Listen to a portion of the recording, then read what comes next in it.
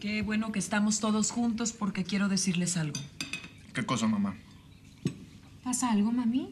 No, solo quiero informarles que he decidido pedirle ayuda a Mariano Lascano.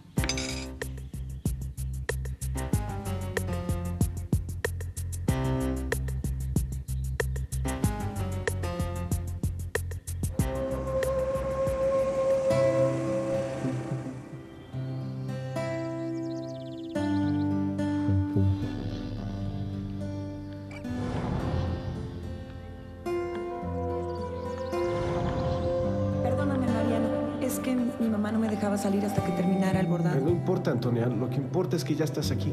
Hay algo que quiero decirte. Yo también tengo algo que decirte, pero dímelo tú. No, no, no. Tú dime.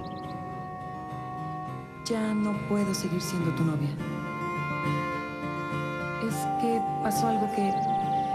Bueno, yo quiero ser honesta contigo. Me enamoré de otro muchacho.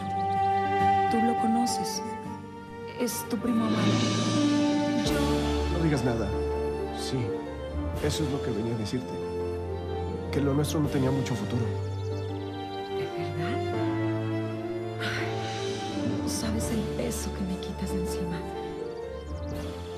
¿Amigos? Amigo. Yo no sé por qué me estoy acordando ahora de eso. El pasado y todo lo que sentí por Antonia ya está enterrado. Eso nunca, mamá. Tienes que entender Mariano Lascano le hizo mucho daño a mi papá. Julio tiene razón, mamá. Si a ti ya se te olvidó todo lo que sufrió mi papá, nosotros no.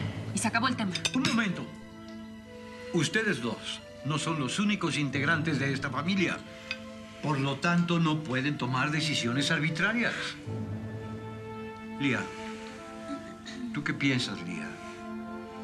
Bueno, sé que mi papá la pasó muy mal por culpa de ese señor, pero creo que mi mamá es la que debe decidir. ¿Y tú, Dani? Yo siempre voy a estar del lado de mi mamá. Lo que ella quiera está bien. ¿Ya oyeron lo que piensan sus hermanos? Antonia, eres tú quien debe decir la última palabra.